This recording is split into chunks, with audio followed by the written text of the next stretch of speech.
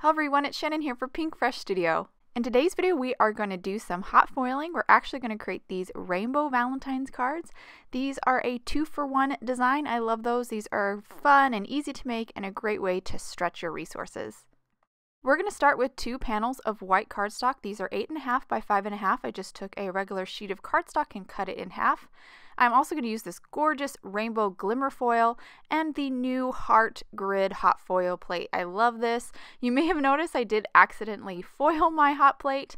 Today, hopefully, we'll go over really carefully how to avoid doing that yourself at home. But if you do make the same mistake as me, it's still usable. Your hot foil plate will still work.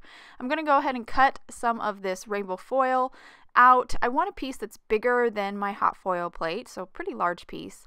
I'm going to start by placing my platform into the base of my Glimmer Hot Foil machine, turning it on. You can see when it's on, the red light is on, and I have to wait. I'll wait until that little green light there turns on, which means my platform is now ready.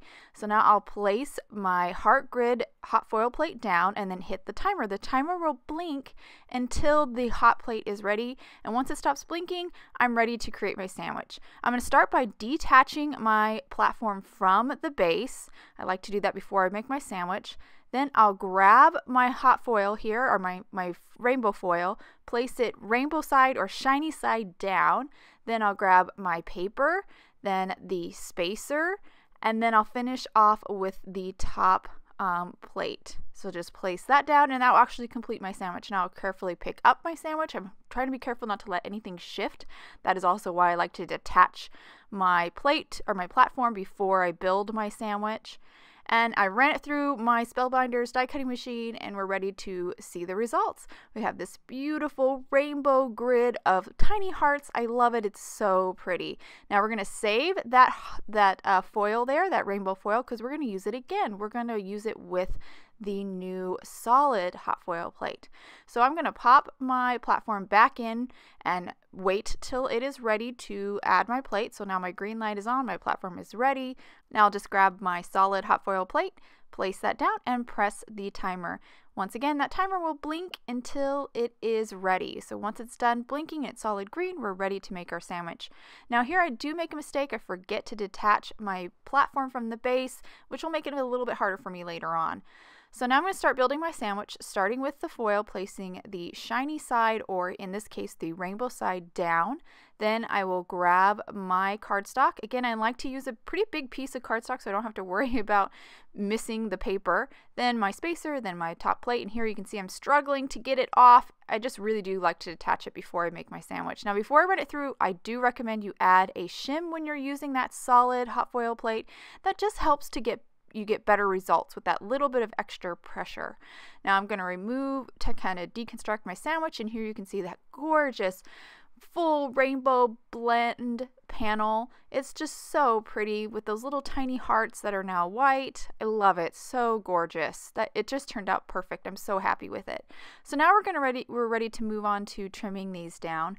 I have a little uh, clear acetate uh, grid here that's the dimensions of an A2 panel, so it's four and a quarter by five and a half.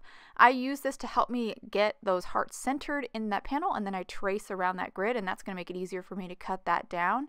Uh, I think this is really handy to do. I actually made mine my little acetate grid myself. Um, you can definitely do that, or, or you, you there are some available for purchase as well. So I'm going to go ahead and trace both of these uh, foiled panels with that grid, and then go ahead and trim them down with my paper trimmer. And now I'm ready for this really cute shaker heart die. I'm going to use the largest die from the Essentials Shaker Heart die set, center it over my panel, and then I will die cut it.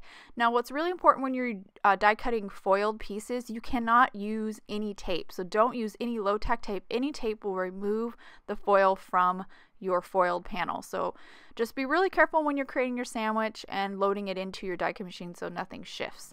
So that die cut beautifully. Now we're going to move on to the other panel. Just repeat that process. Take that heart, center it in, run it through my die cutting machine. And now we have these two panels with these gorgeous kind of stitched hearts. They have a little stitch detail, which I love. And we're ready for moving on to our sentiment.